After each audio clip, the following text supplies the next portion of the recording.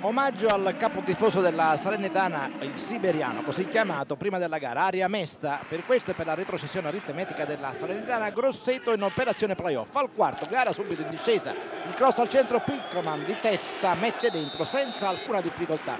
Sembrerebbe come regatare in un lago il Grosseto al sedicesimo trova il raddoppio con Vitiello controllo e tiro tutto troppo semplice all'inizio ma la Salernitana ha orgoglio. Ecco Dionisi che si avvia verso la porta avversaria vince il rimbalzo col portiere mette dentro. Gara che si riapre e trema la formazione toscana letteralmente. Ricarico dalla grande distanza, incrocio dei pali, Grosseto veramente sulle gambe, occasionissima, Capone riesce incredibilmente a sbagliare il gol del 2-2, ma nel secondo tempo, ecco spreca adesso Mauro Esposito, Job non vede il compagno, poi Caputo ancora, e siamo nel secondo tempo, sradica il pallone dai piedi di un difensore e mette dentro il gol del pareggio. Grosseto che spreca ancora l'occasionissima, Sare si dispera e ancora di più quando su questa azione la palla si impegna, Caputo di testa mette dentro il gol del 3 a 2, incredibilmente al diciannovesimo